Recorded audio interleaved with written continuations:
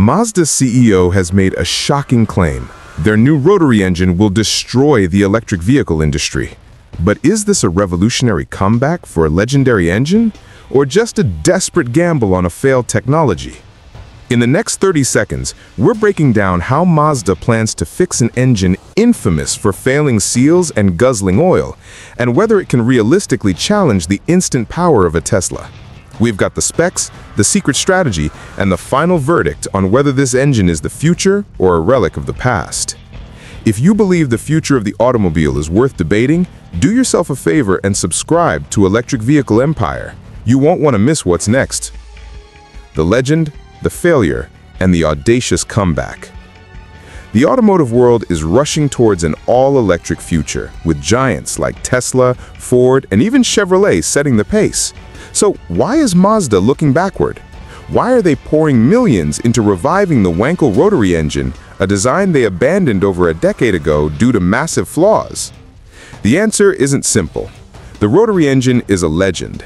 It's the engine that powered the iconic Mazda RX-7 to stardom, a machine beloved for its high-revving, smooth power delivery from a compact, lightweight package.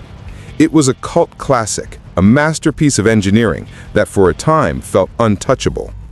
But the legend had a dark side. The follow-up, the RX-8, was the beginning of the end. The cracks started to show.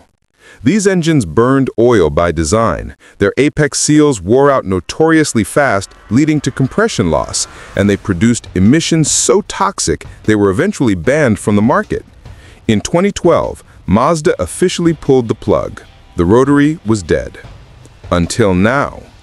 Mazda claims they have solved the impossible. They believe they have resurrected the rotary, not just as a niche engine for enthusiasts, but as a weapon to take on the entire EV industry. To understand how, we first need to dissect what went so horribly wrong.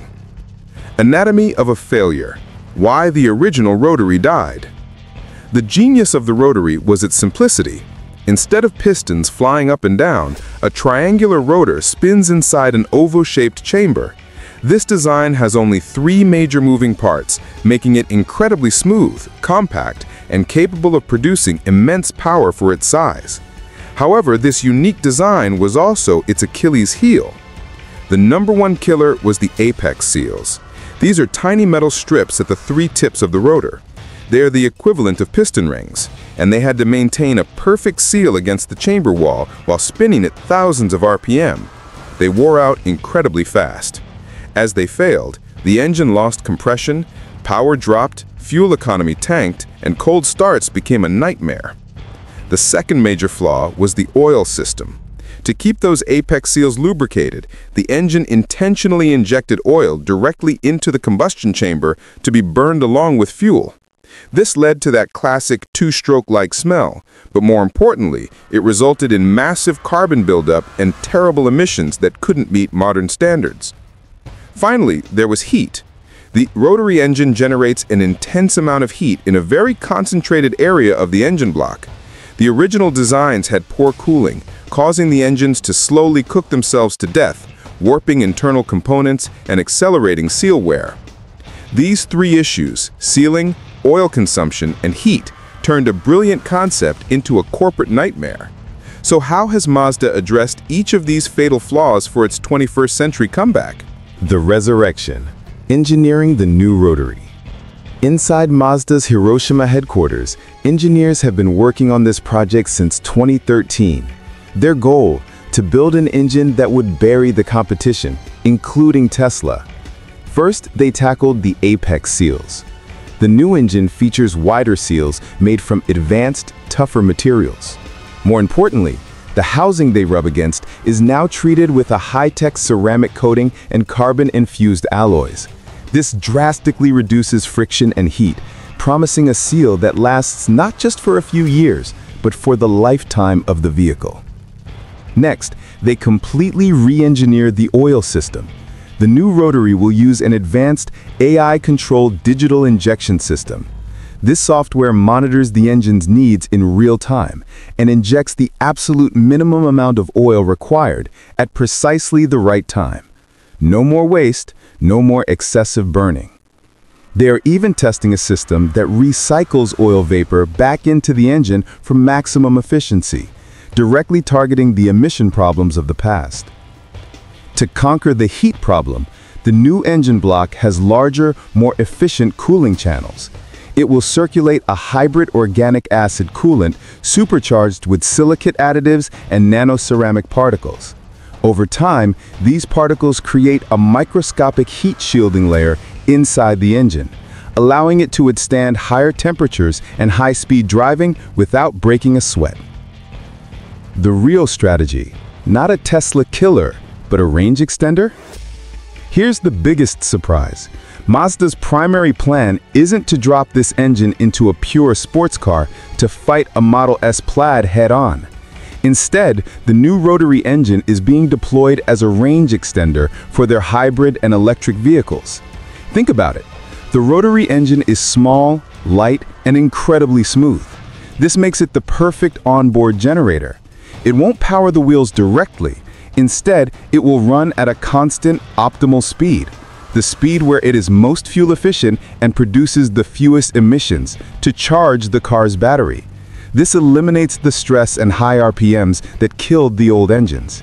It gives drivers the freedom of a gas-powered car with no range anxiety, while still offering the smooth, instant acceleration of an electric motor for city driving. However, Mazda is keeping its options open. They have a second prototype in testing, a more powerful direct drive twin rotor engine expected to produce over 300 horsepower. This is the engine that could power the much-rumored RX-9, a true spiritual successor to the RX-7. But even with this powerful version, can it really destroy the EV industry? Reality check. Facing the electric giants. Let's be clear. The EV market is a brutal battlefield. Tesla's Model S Plaid, a car that is already several years old, does 0 to 60 in under 2 seconds. The fundamental problem for any combustion engine, rotary or not, is that it cannot produce the instant torque of a powerful electric motor. A pure EV will almost always win a 0 to 60 sprint. The competition is fierce everywhere you look. The Ford Mustang Mach-E and Chevrolet Bolt EV have captured the affordable end of the market. Lucid Motors is dominating the luxury long-range space with over 500 miles on a single charge. Companies from Volkswagen to BMW already have mature, powerful EV platforms. So how can Mazda possibly win? The destroy the EV industry line is marketing genius, but the real strategy is much smarter. Mazda isn't trying to out-Tesla Tesla. They're planning to carve out their own niche by offering something pure EVs can't. They will focus on what they do best, building lightweight, agile, and fun-to-drive cars. The RX-9 won't be marketed on raw acceleration, but on superior handling and a connection to the road that many heavy, battery-laden EVs lack. By making the car compact and affordable, they can appeal to city dwellers and price-sensitive buyers who are hesitant about the high cost and charging anxiety of pure EVs. The verdict. Will Mazda destroy the EV industry? No, that's pure hyperbole. But could this new rotary engine be a massive success? Absolutely.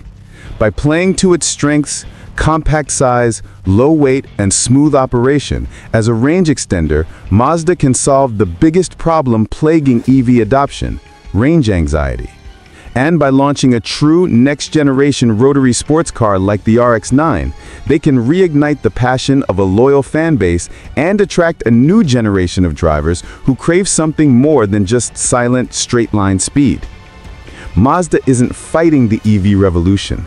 It's finding its own unique place within it, and that might be the smartest move of all. What do you think? Is the rotary engine's comeback a genius move, or will it fail all over again? Let me know your thoughts in the comments below. If you enjoyed this breakdown, please hit that like button and subscribe to Electric Vehicle Empire for more deep dives into the future of automotive technology. Thanks for watching.